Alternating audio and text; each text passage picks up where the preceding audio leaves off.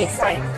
Okay, my work, getting supported by much money from Mexico to get the extra. Yeah, he us in that way. I think that yes. But that's what, I noticed working with him. They are, I think that has support very conservative religious For example, Mexican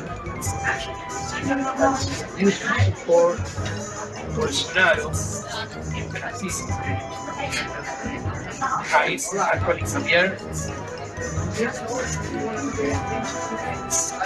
he has been with Jair Bolsonaro, the son of the former president. He went to Mexico.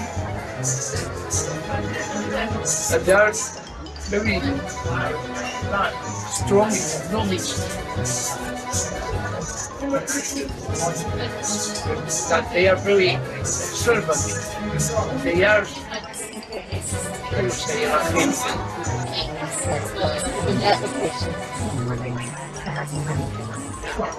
you in Mexico, the financial support at the end comes from drugs. At the end comes from drugs. The, the last change comes from there.